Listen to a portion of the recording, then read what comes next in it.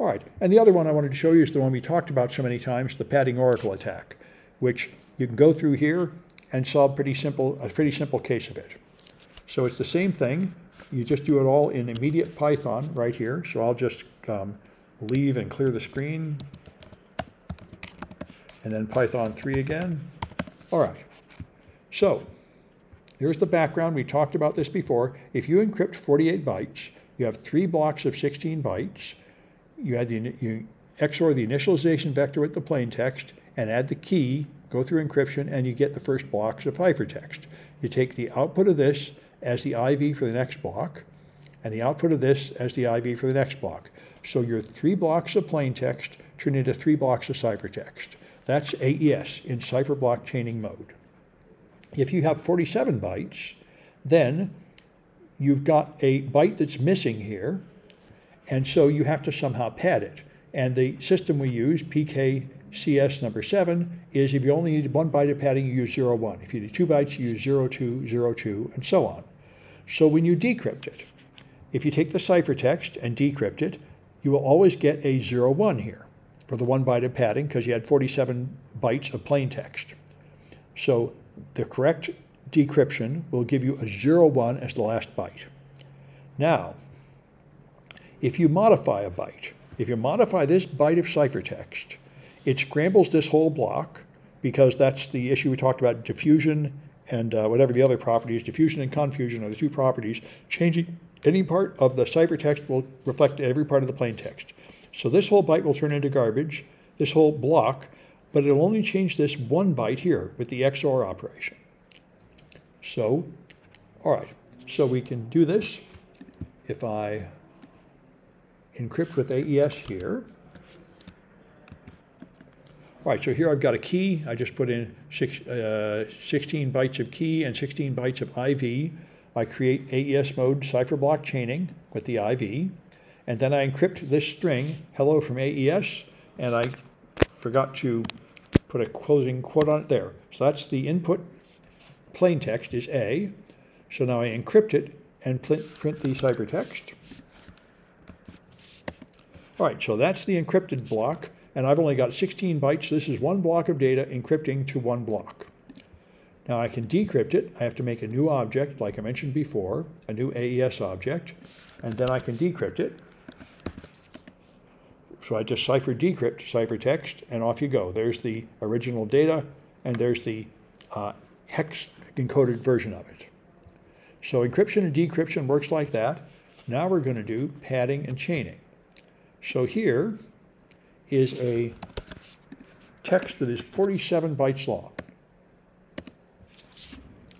All right, now if I want to encrypt it, I'm going to have to add a 1 to the end, a single byte of 1, because it won't encrypt unless I fill the block. So this I make ciphertext. Um, I will encrypt not just the plain text, but the plain text plus one, a byte of 1 at the end. And so there's the, um, the ciphertext in hex. And here's the modified ciphertext.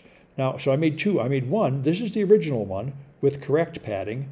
This is the message with incorrect padding. I put a 255 in the last byte instead of a 1.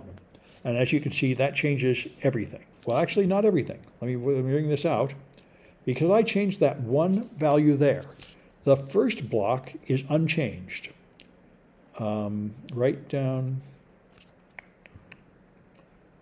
uh, ciphertext. Oh, okay, right, I'm just looking at plain text. So I changed one byte, and you'll find it someplace towards the end here. Um, let me check my diagram here. It is the 5C has changed to FF. This 5C has changed to FF. I'm just looking at the plain text. So I have 48 uh, bytes of plain text, and it's all the same except that one byte has changed. Now I'm going to um, right, and now I'm going to decrypt it, which is here.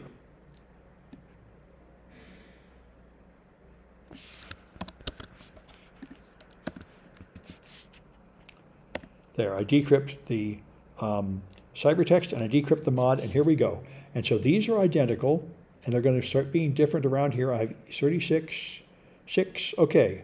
It's identical 746, 747. Okay, here's the first block, and this is exactly the same.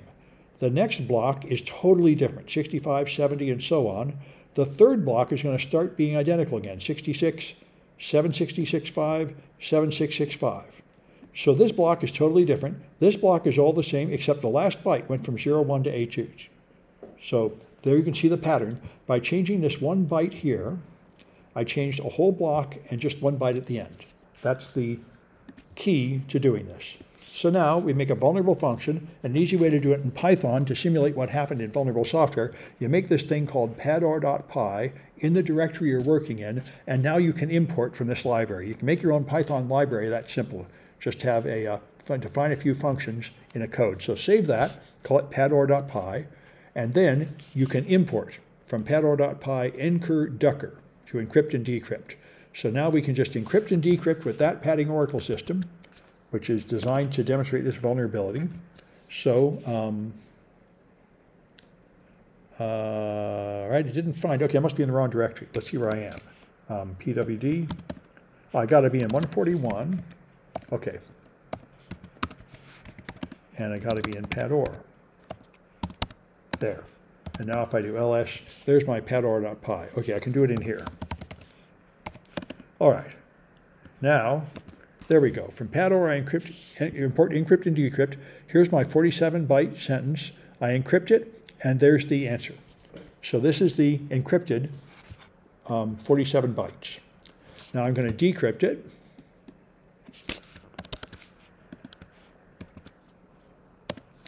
And notice the decryption ends in 0, 1. It's correctly padded with a 0, 1, and so the decryption finds a 0, 1 at the end. Now we're going to modify it. We're going to make a modified one that changes the last byte and then decrypt that, and now we get padding error. So if the padding is correct, you get the answer. If the padding is incorrect, it tells you you have a padding error, and that is the fundamental vulnerability.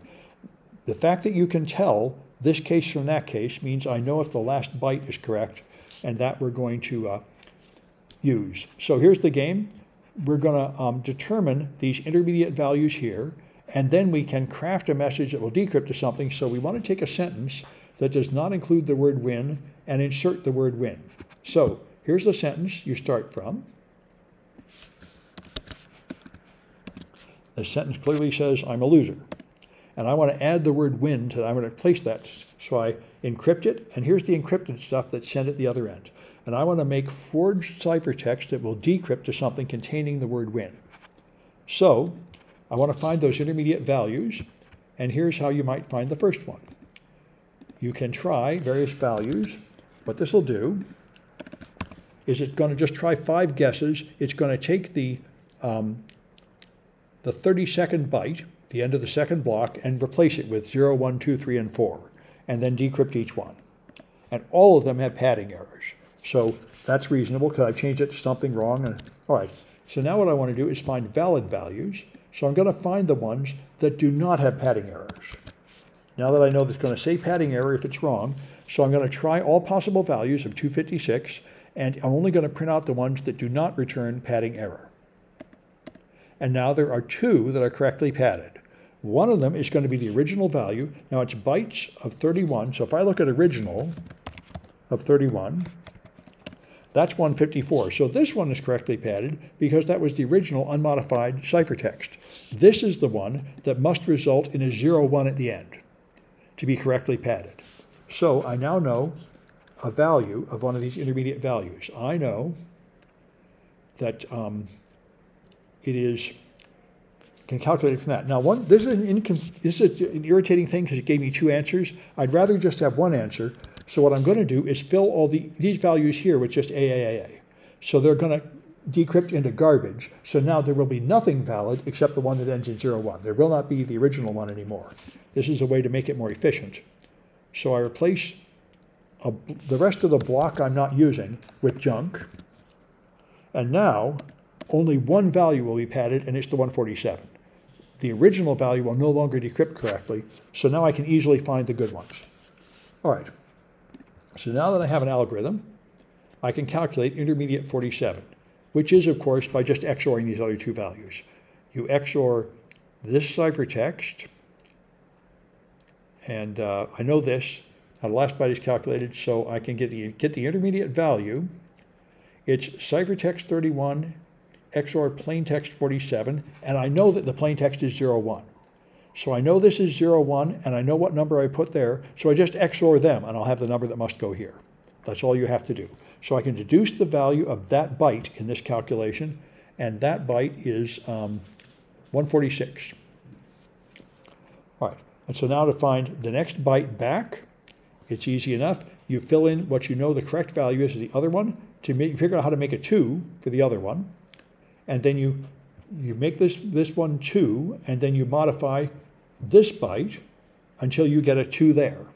And then you can calculate this. So that's it. That's the, that's the game. You can find the bytes one by one, going back, and you had to find four of them. And when you're done, you'll find um, four intermediate values, and you can now encode win. So here, I'm going to change the ciphertext to make the last four things win and then a one to have proper padding. So this is the uh, forged ciphertext, the original. Then I replace four bytes with carefully chosen bytes, and then more of the original. And when you decrypt that one, here, you get a loser and then win. You inserted this little message win somewhere. So that shows that you have successfully forged the ciphertext without knowing the key. And that's the essence of the padding oracle vulnerability. And so there is a doing exactly what's above is worth something, and then there's a challenge which can take a while um, where you have to put your name on a winner's page here. That let's see who's on there. Oh, I guess it's empty right now, but it should be there once people solve it. Anyway, um, all right. That's what I wanted to show you. That's the joy of the padding oracle, and a lot of students had a lot of fun solving this one. It can take quite a while.